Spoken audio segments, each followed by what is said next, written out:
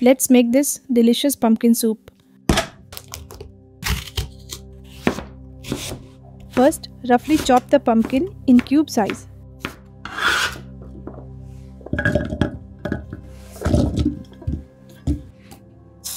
Now peel and chop the potato.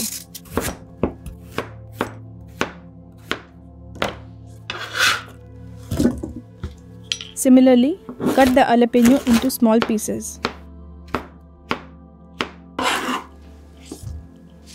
Now add garlic pods, vegetable cube and enough water to cover the veggies. Bring it to a boil, then cover the pot and simmer for 25-30 minutes until the vegetables are soft. While that simmers, prepare the croutons.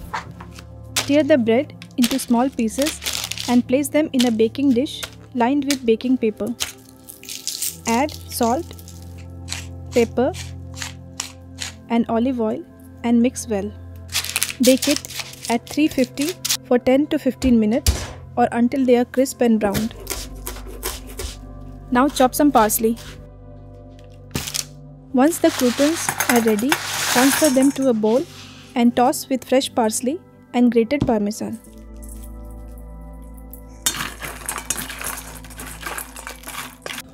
By now, the vegetables should be cooked and soft.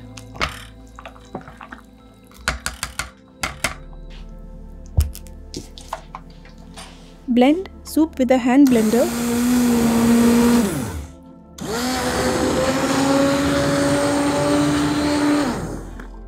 Add 2-3 tablespoon of olive oil and salt for taste. Ladle the soup into bowl and top with the parmesan croutons for added crunch and flavor. And it's done. Enjoy.